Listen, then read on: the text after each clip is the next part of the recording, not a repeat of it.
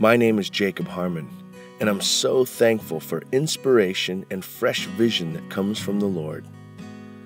A little over a year ago, after many loving hints from my wife, I decided to improve my eating habits.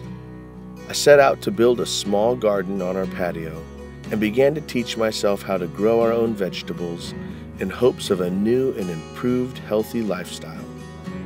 Soon we began to enjoy salads from our very own garden, delicious tomatoes, leafy greens, peppers, even wheatgrass, all grown on our humble little patio. Life was good. On Good Friday of 2009, as I was sitting there next to my little garden, enjoying some time with the Lord, God gave me a vision to reach the lost through the practical means of food production.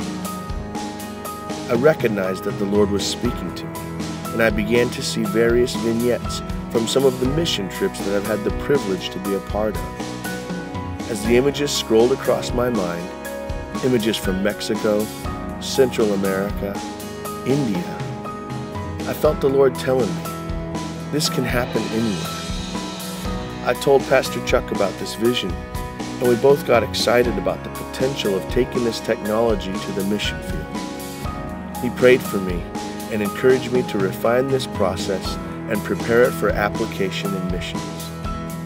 Over the past year and a half, I've been diligently pursuing better ways to get these hybrid farms out to the mission field for as low of a cost as possible. I've been writing a curriculum, teaching small classes, and making instructional videos in hopes that many will learn this process and join me in this vision to reach out to our impoverished brothers and sisters all over the earth for the glory of God. I'm challenged by what the scripture says in 1 John chapter 3 verse 17 and 18.